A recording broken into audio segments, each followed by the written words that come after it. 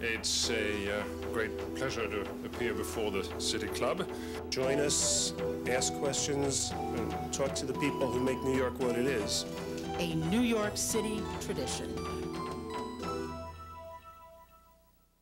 Before we start tonight's debate on the West Side Stadium, I thought I would um, take a little poll here, because I, maybe I've had my head in the sand, but I haven't seen a lot of fair and balanced uh, cost-benefit analysis done on um, the West Side Stadium. Uh, Maybe I missed it, but there's commercials on one side, commercials on the other side, all paid for by vested interests. But a really objective analysis, I have not um, seen. I'm sure just because I haven't read enough, and you people have probably all produced objective analysis. But um, I just wanted to ask, uh, I'm curious uh, if people feel the way I do. How many feel that they've had enough facts uh, to make an intelligent opinion about the West Side Stadium? Well, about uh, 10 people, I think. Uh, how many um, feel they don't have enough facts to make an objective opinion? Jeez. Um, that's about 184 people. That's, adding those two together should be everyone who's here, but somebody didn't vote. So let me ask again, uh, or maybe there's a third group. How many feel they don't have enough facts, but they have a strong opinion anyway? Are you all Jet fans or what? Boy, I'm amazed that there's that many honest people here. Um, so a lot of people have uh, opinions about this, but no facts. So that's interesting. Well, maybe tonight we can, um, we can hear some objective analysis of what the real all-in cost of the stadium is going to be and what the real all-in benefits are going to be. And, you know, hopefully we'll get some facts tonight that are not just um, totally partisan, but have some um, substance to them. And uh, the other thing I'd like to um, thank the City Club for uh, putting together the speakers. They're responsible. The speakers are no good, it's not Foundation's fault, it's the City Club fault. And uh, particularly if the moderator is no good, it's the City Club fault because he's from the City Club, but that's it. That's another story. But anyway, the City Club uh, has very important um, uh, speeches, and uh, it's te often televised on CUNY TV. And so, you know, we're really happy that they took the effort to put this together, and uh, hopefully we can do other projects uh, in the future um, because it really worked out nicely. So without further ado, the moderator for tonight is the president of the City Club. Um, his name is Craig Whitaker, on my left here. He's an author of uh, Architecture and the American Dream. Uh, he did a plan for the Governor's Island, sponsored by the Rockefeller Foundation, which I guess didn't happen, did it? Not yet. He did a plan for the original Westway. Uh, he did the original Westway plan, right? That hasn't happened, right? Not yet. You're, you're setting me up. Not yet, right Not yet. Okay. You didn't plan the stadium, did you? No, I did not. Oh, okay. Um, anyway, he's a practicing architect. He should have planned the stadium. And he has a bachelor and master's degree in architecture from that well-known Eastern school called Yale. Uh, he's a professor, ad, adjunct professor at NYU. So uh, he's going to be our moderator. He's going to um, uh, keep the debate under control. Let's welcome Craig Whitaker. Thank, thank you very much, Donald. Let me uh, publicly say thank you to the Paula and Donald Smith Family Foundation for this joint sponsorship. It's something that the City Club looks forward to. I am Craig Whitaker. I'm the president of the City Club of New York, and I'm here to take the hit if uh, tonight's debate does not go well, something about which I have a few doubts. Let me uh, give you very briefly the uh, rules of the road here. We are going to take each of our four speakers, whom, I, whom I'm going to introduce to you in just a moment, and give them each uh, eight minutes to uh, say everything they want to say about uh, the west side of Manhattan. Then we're going to follow that with about 20 minutes of discussion among the panelists. My job will simply be to prod. At some point, at, at, about that point, we're going to take a very short break, and then we're going to have Q&A, as long as you'd like, uh, from the audience. Uh, tonight, to my immediate left is uh, John Alschuler, who is uh, the head of the firm we all call HR&A, Harrison, Hamilton, Rabinowitz, and Alschuler. And uh, they are a very special firm because what they do mostly is help in what's called transactional business. They help government work with private developers and industry. They help industry work with um, the public. And as such, I think they have a, a very unique role in uh, municipal and, um, and uh, government affairs. Uh, John, at one point uh, in his uh, long and storied career, was the city manager of Santa Monica, California. I've already asked him why he would have wanted to leave that job for any other job, uh, and he's told me he got tired of swimming at Christmas. Um, immediately to his left, I believe, is Tom Wright, who's the Executive Vice President of the Regional Plan Association. He's an adjunct assistant professor at the Columbia Graduate School of Architecture and also an adjunct professor at uh, New Jersey Institute of Technology. He was the uh, deputy director of the New Jersey State Planning Office uh, until very recently. So he too has had long experience with government and with the making of plans in the uh, public arena. To his left is David Weprin, who is from the New York City Council. Uh, he has a long career. He's a, a lawyer, having graduated from uh, Hofstra. Uh, he is active on the City Council, particularly on this issue, and has a list of uh, credentials that are um, several paragraphs long.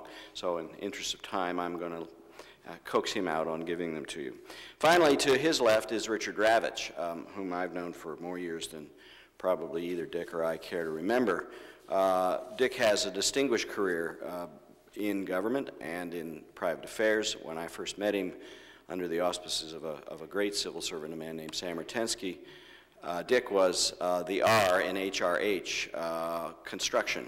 Um, he went from there to be, uh, among other things, the chairman and chief executive officer of the Metropolitan Transportation Authority and in that capacity was responsible for a massive infusion of capital funds. It was, I think, uh, largely to his credit that the um, railroad was, uh, or the MTA was revitalized. He has served helping Governor Carey bail out the Urban Development Corporation.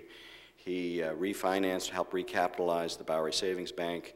He's had a long career in affordable housing. So I think with this uh, galaxy of luminaries, uh, we can be assured of a, of a lively discussion.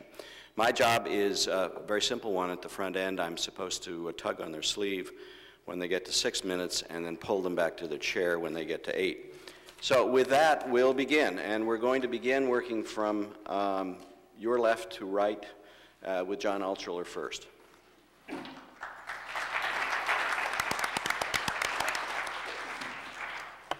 Thank you, Craig.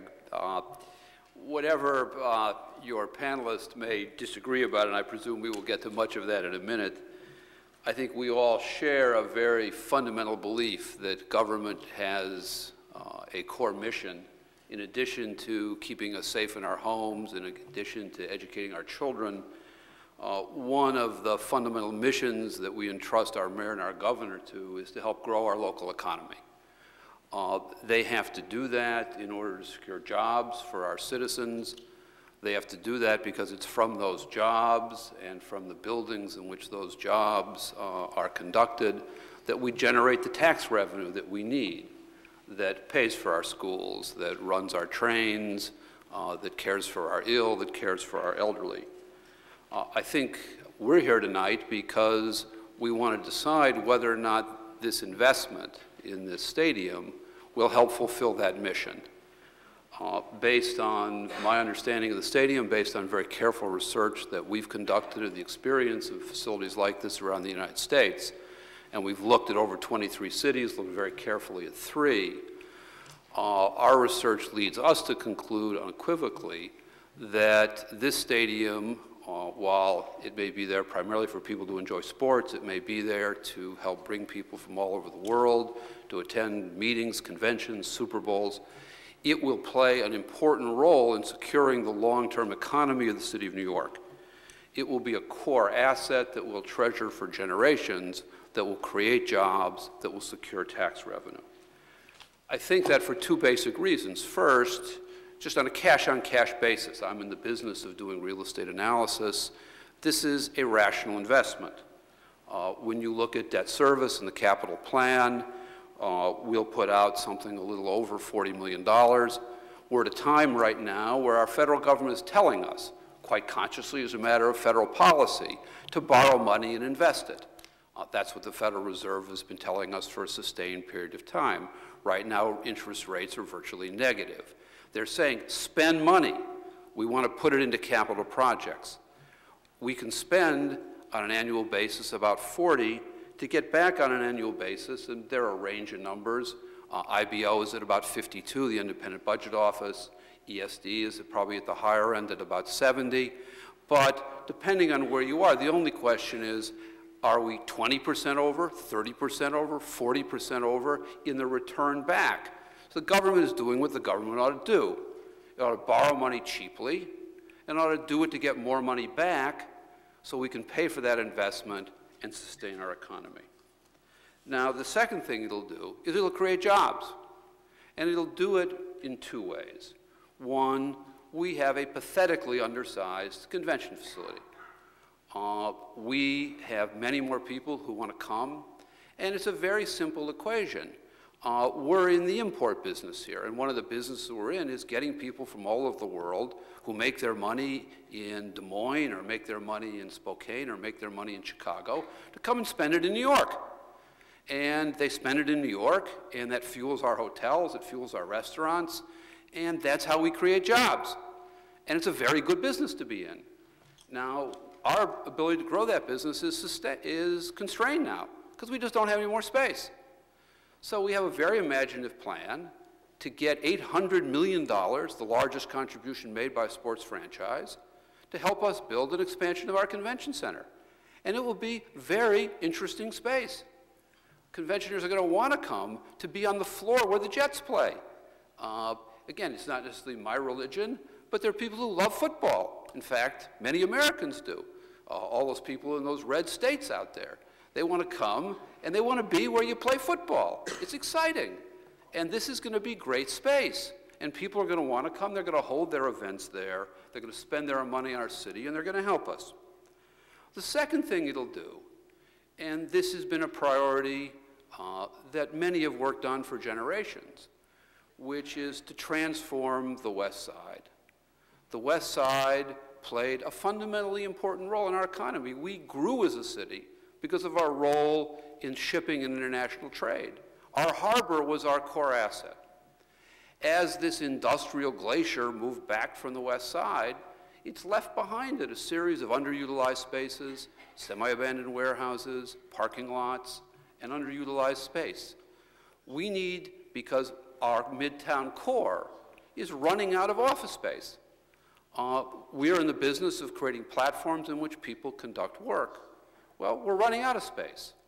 Uh, the Midtown core is constrained, and even while you can find additional space here and additional space there, the more constrained we get, the higher rents go up. The higher rents go up, the more incentivized people are to move their business to New Jersey. We've lost literally hundreds of thousands of jobs, millions of dollars of tax revenue in the last 20 years to New Jersey, and we'll continue to lose it as we continue to constrain space. Now, we looked at 23 cities, and we concluded, as many have, the obvious fact, which is most stadiums don't help their cities. Most stadiums are not economic assets. Now, most of them aren't planned to do so. When we built Shea Stadium, nobody expected it to anchor a downtown in Willets Point. Uh, when they built Giant Stadium, nobody expected Giant Stadium to anchor a midtown in the Meadowlands. So yes, most stadiums don't anchor economic growth, and most stadiums weren't intended to. And it's pretty easy to figure out why. They're surrounded by a sea of parking. They're cut off by major highways. They have no amenities. There are no development parcels to put buildings on if you wanted to. So, yeah, the majority of stadiums don't contribute to economic growth. It's not relevant to this discussion. The question is, let's look at those stadiums in cities like New York that were intended to create economic growth, and let's see what they've done. So we looked at a few. We looked at San Diego, we looked at Cleveland, we looked at Pittsburgh. The results are very instructive for us. In San Diego, in the one year since it's been open, we've seen a billion and a half dollars of public and private investment. They'll be at three billion by 19 by, by 2007. They'll be at five billion by the end of this decade. We've seen close to 4,000 new residential units. We've seen new tax revenue. The experience in Pittsburgh is the same because they're building a stadium very much like the one we're going to build. It's connected to the urban core by transit. It's amenitized by parks and open space. It's not a silver bullet approach to development. It's part of a comprehensive plan with multiple destinations. They're development parcels that are amenitized. Uh, when the new office building opens in San Diego, the highest rent they're going to get per square foot in their commercial office core will be in the office building that overlooks the stadium. These are fabulous amenities, and real estate is about location. You get few chances in a generation to create a location. We have that chance. We'll add value and we'll add jobs. Now, this has been a debate, and there are a lot of myths. And let me just run through quickly five of them. First, that stadiums are bad for economic development. It's not true when they intend to help economic development and they're executed intelligently. It's like saying the Paramus Mall didn't stimulate a lot of urban development in suburban New Jersey. Well, that has no relationship to related. Um, let me just say a couple more things, and I promise to be off in one minute. Okay. Um, and then you can pull my coat. I feel like Jim Lehrer. It's all right. It's all right. Um, people say the stadium financing plan is too risky or imprudent. It's not. We've seen the numbers. This is debt. It can get paid back. We can say the stadium takes money from police, fire, and schools. The opposite is true. This will generate new tax revenue that helps pay for our police, pays for our schools. We've said the stadium is unnecessary. This is dangerous passivity in the face of competition. New York, in order to continue to grow our economy, has to invest in our future the mayor and the governor have an obligu obligation to invest wisely. We've seen that this stadium is a wise investment in our future. New Yorkers should support it.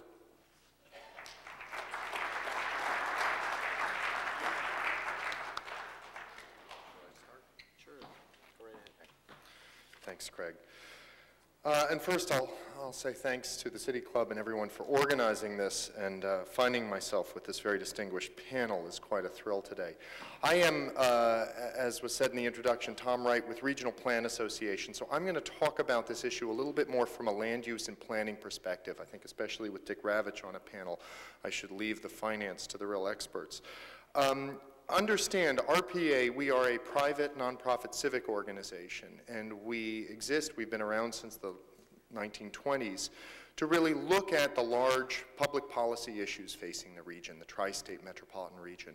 And we have been involved from moving the GW Bridge from a planned uh, entrance at 57th Street, which would have brought much traffic into Midtown, to uh, preserving open space and parks uh, across and landscapes across the region for over seven decades now. Um, we were, we were uh, also very involved, even, in fact, you could go back to the 1929 first regional plan that RPA produced and look at chapters that talk about the redevelopment opportunity on the far west side. RPA has been uh, for many decades looking at this area and thinking about what the future should bring uh, for it. And, and in many ways, we've been very pleased by the planning that's gone on. The city has put together a very ambitious plan and given, I think, the appropriate amount of attention uh, to this area. In fact, we have produced four different studies for the area, had a major uh, conference with about 600 people last spring, and, we, and several board meetings uh, investigating and analyzing different aspects of the plan from its assessment of overall economic growth to transportation to an urban design analysis.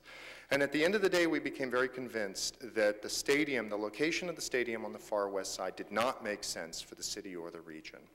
I think I'll, I'll, put it from two different perspectives. One, from a regional perspective. We have a kind of criteria, a philosophy about where things should go in this large region of ours.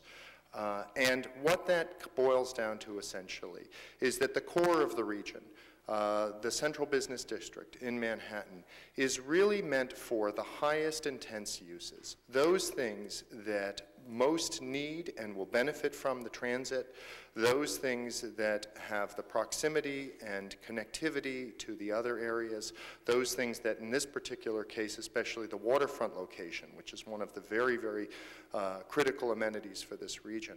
Um, and those are the kinds of activities, high-end uh, commercial, high-density residential, um, civic and cultural activities that really can't go other places, that can't be located out in the meadowlands or in the outer boroughs. Those are the kinds of activities that we, we really think um, justify a location in the core of the region.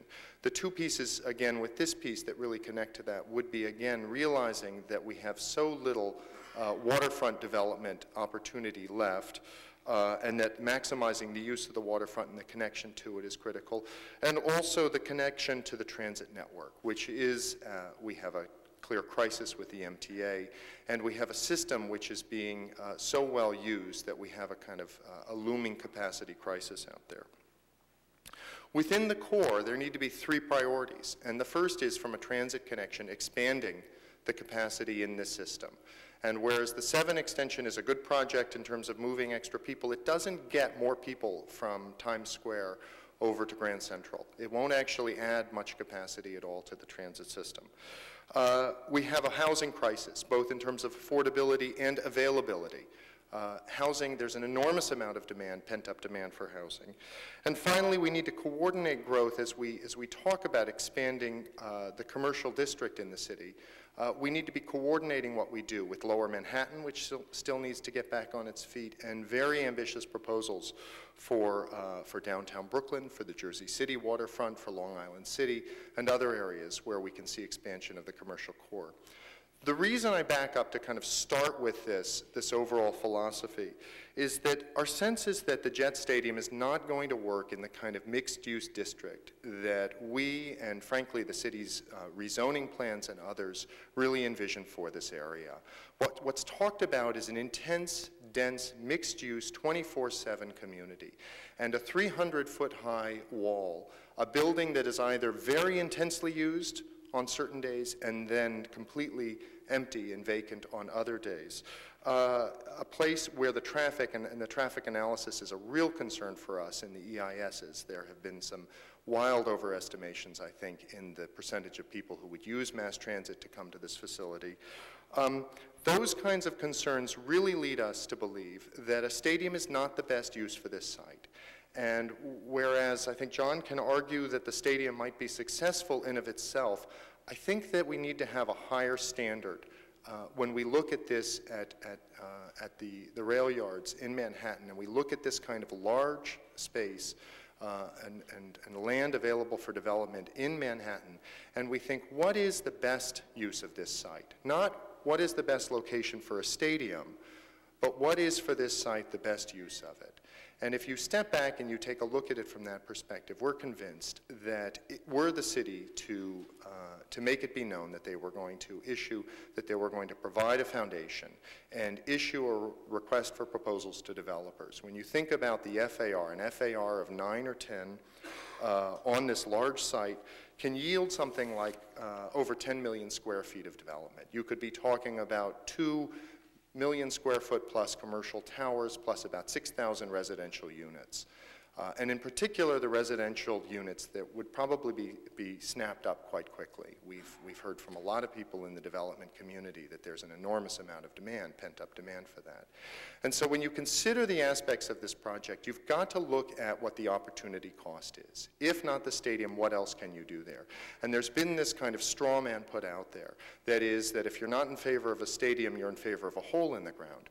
Well, I don't think that that's a very valid argument and in particular, uh, that, that if the city were to, to, uh, to consider other options, we could get better development and better mixed-use development that would tie in with the other kinds of, of priorities that have been uh, uh talked about. The expansion of the Javits Center, the rezoning of the area, uh, the improvements in civic amenities and open space, the expansion of transit to the area, all of those things can proceed frankly, without a stadium there.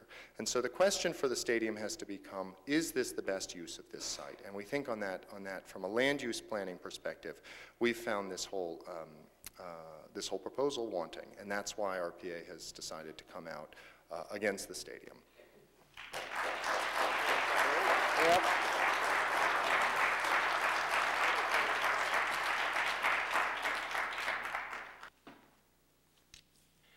I think it's important for you to understand certain basic facts. First of all, let me say that the only reason I've spoken out on this subject is because I, I really believe very strongly that making sure that our infrastructure priorities are set right in this, in this uh, city and in this region is probably the highest priority. We have infrastructure needs that have been announced by uh, uh, elected officials, a Second Avenue subway, another tunnel from downtown out to JFK, East Side access. Uh, thoughtful people have said the highest priority ought to be another Trans-Hudson crossing that'll bring more people in, into Midtown uh, Manhattan. And nobody has told the public how and that's any of those things are going to be financed or paid for. There's no money in any budget for any of those things.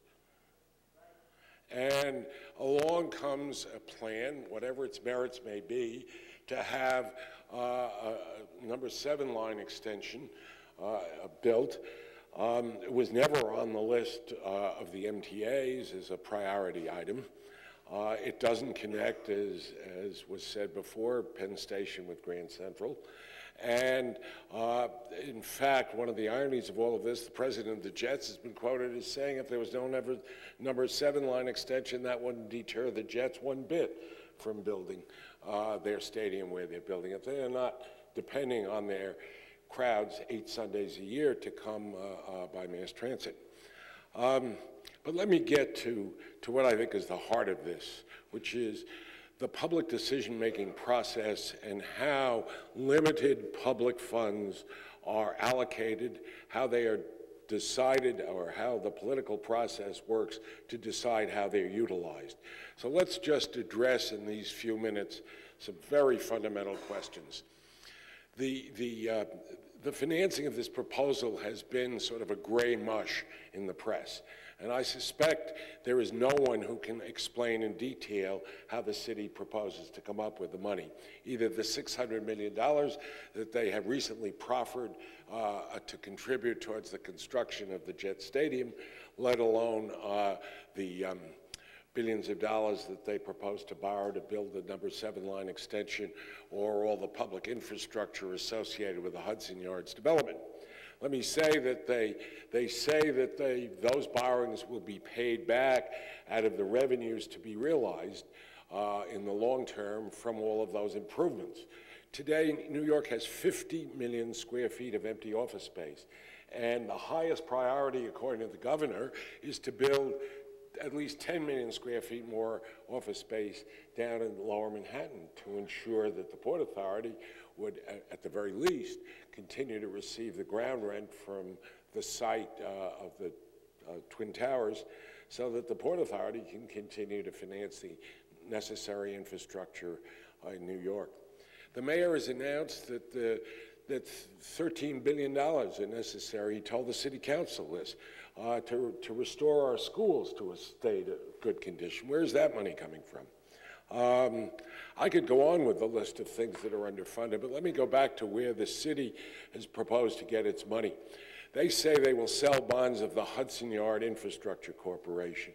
Nobody will buy the bonds uh, that aren't backed by real revenues, just out of aspiration. It's a form of faith-based financing. Everybody knows this.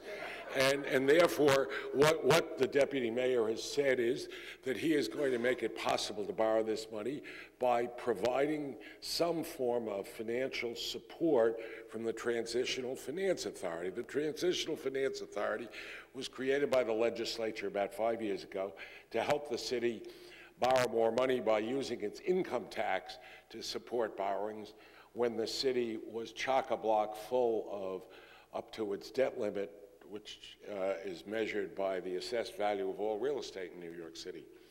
And the legislature made it very clear, and I, uh, anybody can find this material, I certainly did. There is nothing in the law whatsoever that gives the Transitional Finance Authority the power to credit enhance uh, the bonds of the Hudson Yard Infrastructure Corporation, to buy or invest in the commercial paper. That will be challenged in a court and successfully so. The legislature has made it abundantly clear in the memorandum that supported the bill that was enacted that that was not to be used other than for projects that went through the capital budget process of the City of New York, which gets me to my last point. This process here is all below the radar screen. You have not read anywhere where, the city is going to come up with 300 million, let alone 600 million, to contribute to the Jet Stadium, uh, to the cost of the Jet Stadium. And they have not, and have made it very clear, they do not intend to go to the legislative body of the City of New York that has the power over the budget to seek their approval as a budget item. If they went to the city council and the mayor wanted to spend $600 on building the stadium, it would be debated in the city council, and if it were approved, some of us might disagree, but we couldn't question the integrity or viability of the process. That's what the Charter of the City of New York says, and that's what the Transitional Finance Authority enabling statute says. And this is an effort to totally circumvent the elected legislative body of the City of New York.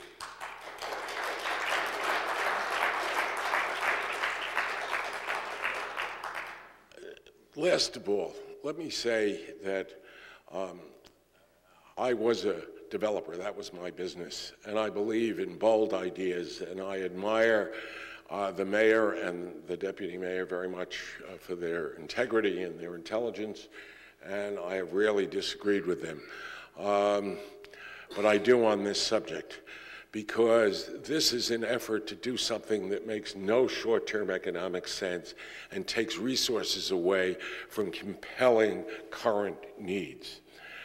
Having had the, the honor and the privilege, the, ultimately the satisfaction of rebuilding the subway system, I also had the experience of inheriting it in 1979 when uh, governors and mayors had been much more focused on building new things, uh, new projects, big buildings, uh, new subway lines.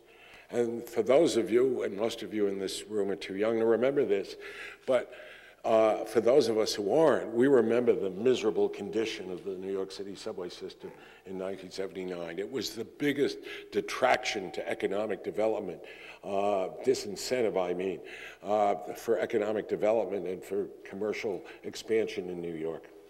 Uh, and it was because the, the, limited resources that were available to the MTA were being directed by the governor and the mayor to be used for new projects and not to fix the system. And if the MTA's request and stated and explained need for $19 billion of capital funds to maintain, forget new starts. They also have a request to start work on the Second Avenue subway, to start work on East Side Access, and, and other uh, new projects. But if their core program of $19 billion isn't funded, the subway system and the commuter rail system will start down the slippery slope again. And I would respectfully submit to you that that is far worse than not making an investment uh, in something that may uh, hopefully, uh, possibly uh, provide a return many years down, down the pike. You know, if we live in a world of unlimited resources, uh, which is what perhaps some of our elected officials think we do, uh, and they certainly did some years ago, uh, then the decision matrix is a different one.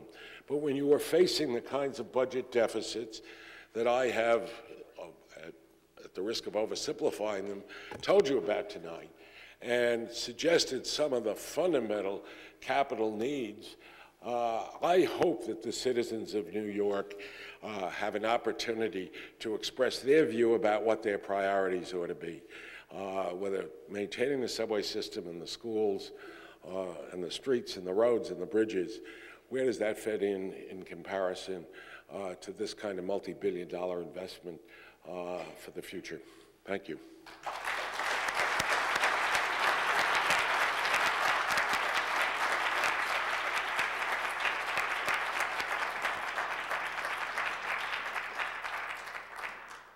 Thank you all. Um, I'd like to uh, put a question out on the table and uh, start by saying that when architects think of a megastructure, they usually think of a very complex building, different scales, different uses.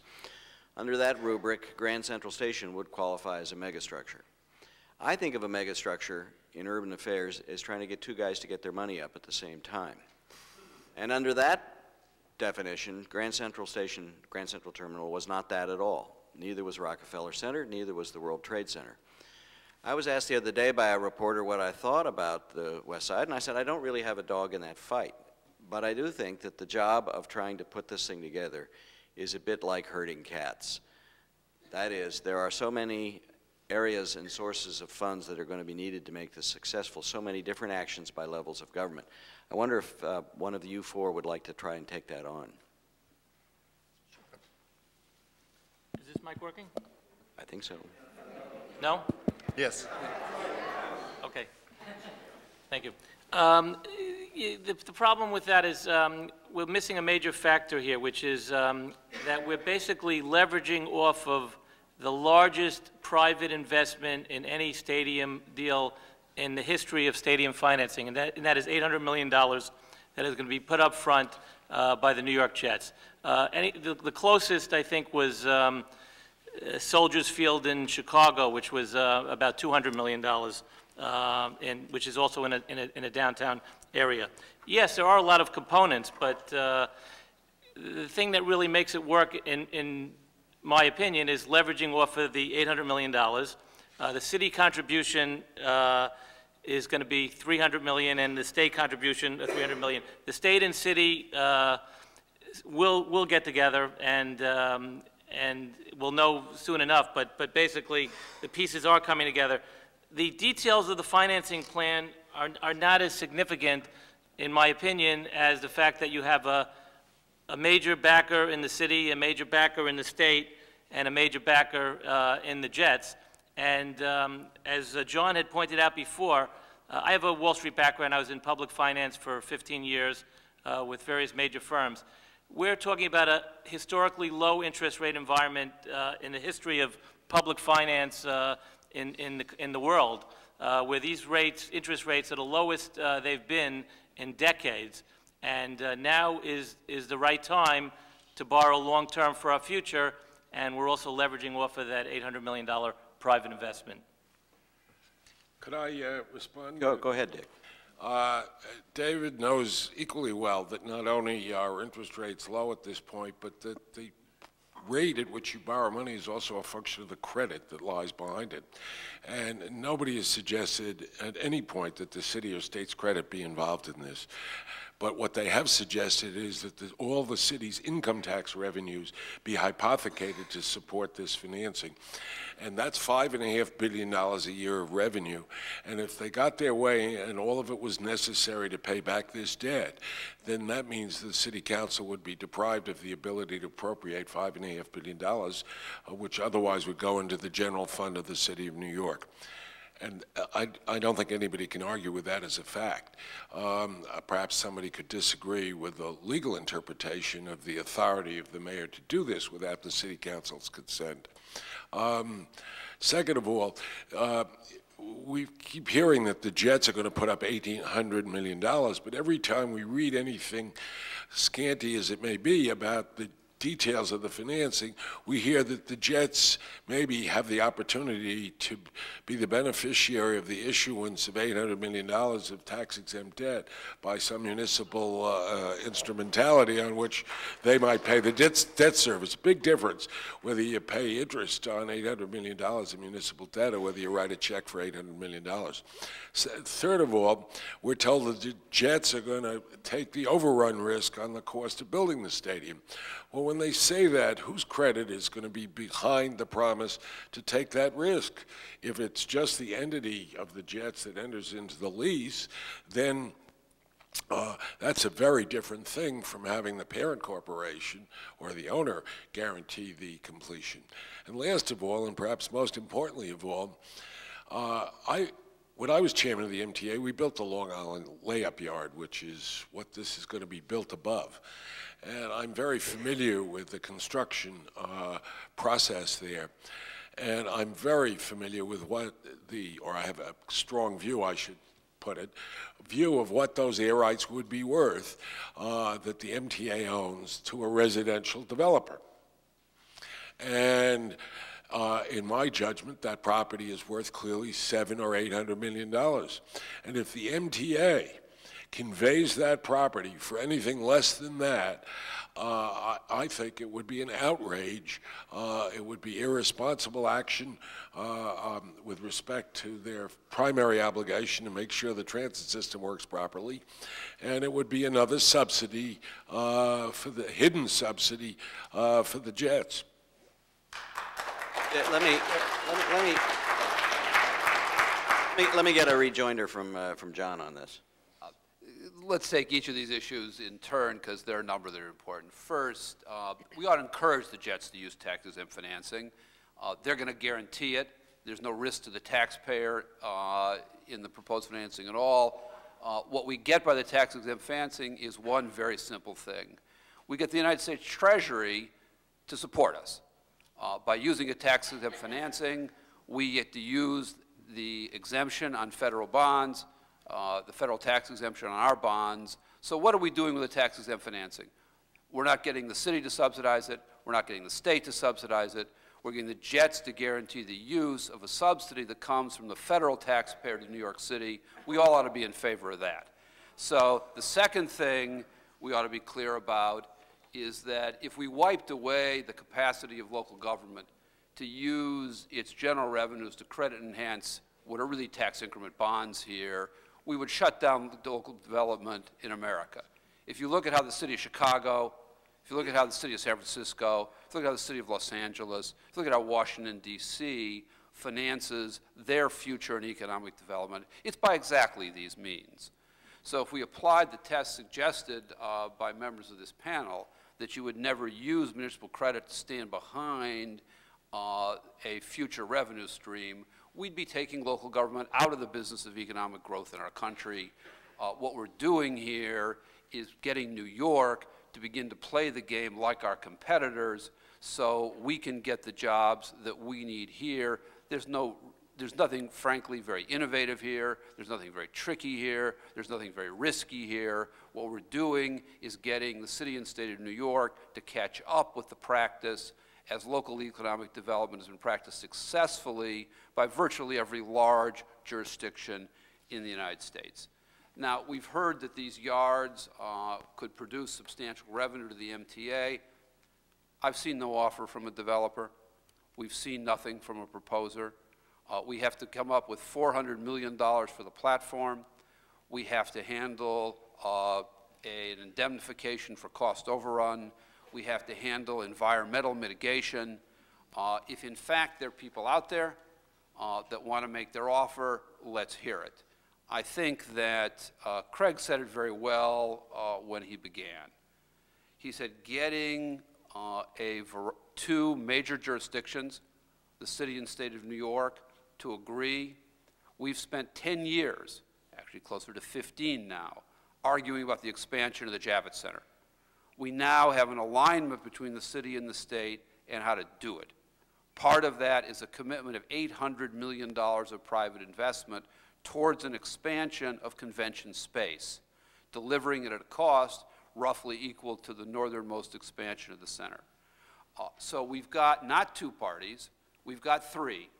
We've got our city government, we've got our state government, we have a private investor who will stand behind an $800 million obligation uh, the time, I think, is past for people to say, gee, I think I have another better idea, or maybe somebody will show up next week and write us a check, or gee, wouldn't it be nice if we had?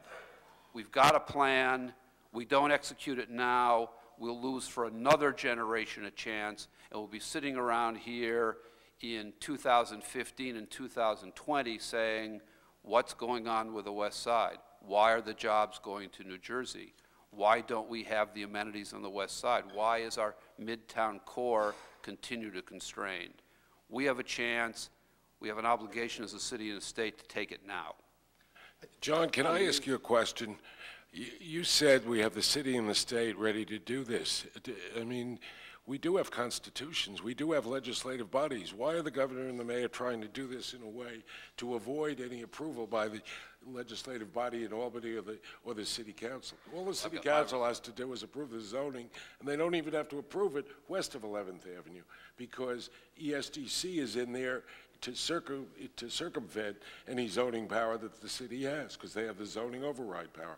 Why, has the legislature said they're ready to contribute one dollar or three hundred million from Albany? Yet, they have not.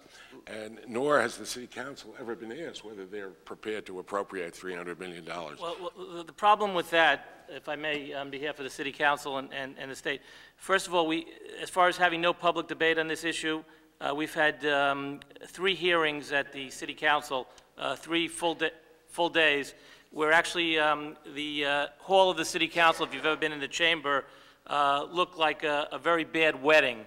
We had, um, the opponents on one side of the council with an aisle in the middle, and the supporters on the other side uh, with booing and hissing uh, at, at every stage. Uh, This has been aired for months and months. There's been hearings by the um, State Assembly, by Richard Brodsky's committee. Uh, There's been, there's been, uh, there will, there will have to be uh, a Public Authorities Control Board approval, so the state will have to sign off on the deal before it's final, as well as the city council will be voting in January. Uh, on the land use change, yes, but everybody knows, there's no secret here, based on uh, millions and millions of dollars of spent uh, by the opponents and the, and the supporters on TV advertisement. There's no secret that if we approve the land use, that'll pave the way for the stadium. I mean, it's not like uh, nobody in the city council knows that the stadium is a major part of the land use change. I mean, we're, we're kidding ourselves if that's the case. So there will be significant public debate at the city council, and um, I'm optimistic that it'll pass, but there will be, the city council will uh, vote on the land use change, yes, which will, everybody knows, involve uh, a future stadium. I- I- I'll say, though, I think that that, that's precisely the kind of trap that organizations or individuals trying to look at this have found themselves falling into. You can't be for the Javits expansion without also supporting the stadium. You can't be for the rezoning without also supporting the stadium. Because these things have been linked, not, I don't think, because they absolutely have to be, but because by doing that, uh, the backers of the stadium have managed to frankly marginalize the groups that have other interests, things, groups that would like to see uh, the convention center move ahead or the rezoning move ahead or others don't have the opportunity to just support those one thing, that, that specific issue because these things have been connected to each other. I, I'll also just say, I don't think, John, it's fair to say that because no other developer is here ready, willing, and able to put the money on the table, that this is the only option we have. It's been clear for quite a, quite a long time that this was the project that the city was pushing. This is the one that was going to get moved forward. I think to some degree that could be the, the, the test. If the city were to really do an honest uh, RFP process and to really entertain uh, uh, alternative proposals for the site, then I think the public, and if there were to be a robust public process, then I think you could really see the alternatives that could go on that site uh, other than a stadium and have a fair analysis of these, of these options. John. Let- Let's be, Folks, let's, let's hold the applause and let the speakers do their speaking. you know, we have seen very few New Yorkers uh, with the bureaucratic and political acumen of Richard Ravitch.